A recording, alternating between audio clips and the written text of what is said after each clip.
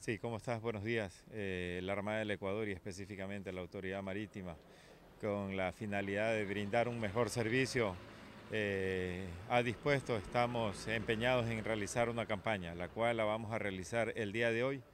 Tendiente es a, regularizar eh, el tema de matriculación de la gente de mar y todos los trámites relacionados a las embarcaciones eh, el tema jurídico, el tema de las inspecciones, eh, los cuales estamos programados para que el día de hoy eh, toda persona que requiera la inspección se acerque a hacer la facturación, se les va a entregar el listado de cuáles son todos los requisitos sobre los cuales vamos a incidir en el tema de las inspecciones, de tal manera de darles un tiempo prudente que consideramos jueves y viernes y el fin de semana para que solucionen cualquier novedad que tuvieran de acuerdo al formato que les vamos a entregar y el día lunes eh, realizaríamos el tema de las inspecciones en las embarcaciones los días que sean necesarios. Eh, vamos a disponer con suficiente personal de tal manera de, eh, de cumplir con todas las inspecciones que requiera la comunidad.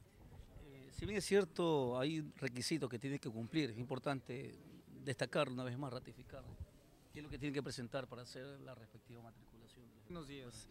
Ya entre los requisitos está haber realizado el curso respectivo ante la Escuela de la Marina Mercante, la ESMENA, eh, tener lo que es una ficha médica donde se garantiza o sea, la salud de esa persona y en base a esos dos requisitos, previa a la facturación de la matrícula, se procede a emitirlos.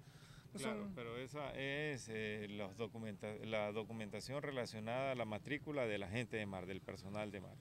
Y en lo relacionado a las embarcaciones, que eso creo que era la, pregunta que, estábamos, que estabas haciendo, eh, posteriormente te vamos a entregar un listado de tal manera de que nos ayudes a socializarlo, que toda la gente tenga conocimiento de qué es lo que tiene que cumplir, qué requisitos tiene que tener y todos los puntos sobre los cuales se les va a pasar las inspecciones, de tal manera de que le den una solución y no tengan inconvenientes al momento de la inspección. Recalcando que esta inspección es un documento habilitante para que posteriormente puedan cumplir con todos los requisitos y, y hacerse a la mar sin ningún problema. ¿La regularización es para los pescadores o también para el sector turístico que realiza? Eh, o sea, principalmente estamos eh, haciendo es en este momento la campaña, dado de que ya han hecho cursos previamente el personal de pescadores, han hecho los cursos, han cumplido con las fichas médicas. La expectativa es regularizar esta gente que está relacionado al tema de la pesca. Estamos en conversaciones con la Escuela de la Marina Mercante para de igual manera realizar los cursos eh, relacionados a marinero de bahía, y que toda esta gente de igual manera quede regularizado y posteriormente, si es que es necesario, realizaríamos una campaña para eh, actualizar las matrículas de este personal. ¿Puede haber algún pescador que no haya hecho el respectivo curso OMI? ¿Se buscarán los mecanismos? Se les ha dado todas las facilidades, entonces si ya estamos viniendo acá como autoridad marítima dando todas las facilidades para que no tengan que ir allá y estamos viniendo acá, entonces ya vamos a ser eh, más estrictos en la exigencia de estos requisitos los cuales previamente se han coordinado, se les ha dado facilidades, estamos viniendo acá. Entonces, si es que alguien no lo ha hecho, debería de hacerlo y ya se tiene que acercar eh, a donde a, Mante específicamente o esperar una siguiente campaña cuando vengamos acá.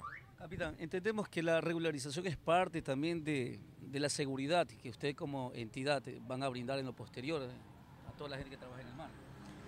Bueno, como ustedes saben, el tema de la autoridad marítima, yo personalmente diría que son dos aspectos. un aspecto es eh, la autoridad como tal, dar todas las facilidades, todos los cursos, toda la documentación de las embarcaciones y de, la gente de mar. Y por el otro lado, hacer todas las operaciones tendientes a darles la seguridad. Entonces, eh, nuestro personal eh, y nuestro material, nuestras embarcaciones, eh, realizando los respectivos patrullajes eh, en coordinación con todas las entidades que están relacionados al tema de pesca, al tema de control, eh, como es parte de la Armada de igual manera, el Cuerpo de Guardacostas, la aviación naval, la Estación Aeronaval de Manta con sus aviones tripulados y no tripulados, el Batallón de Infantería Marina, e, e, inclusive si es que es necesario con la Policía Nacional de ser necesario.